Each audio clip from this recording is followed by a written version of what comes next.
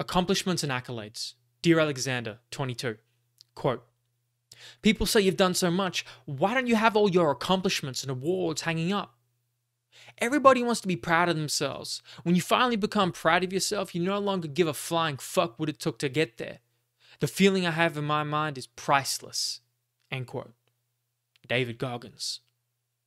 You don't need to hang all those nice accolades of accomplishments to remind yourself of how good you think you are. Why? You're reminded of it every day when you look in the mirror because you and only you know what you've earned and what you haven't. Maybe you resonate with this way of thinking because you're consciously trying to tame your ego. Maybe it's because you're insecure about your accomplishments.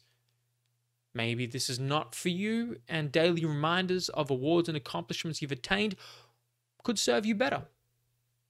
Maybe reminding yourself of where you've come is a technique to deploy self gratitude and appreciation. Or maybe an open and honest look in the mirror is all we need to find our answers and peace. Maybe it's all relevant, and it depends on the day and the time and the feeling.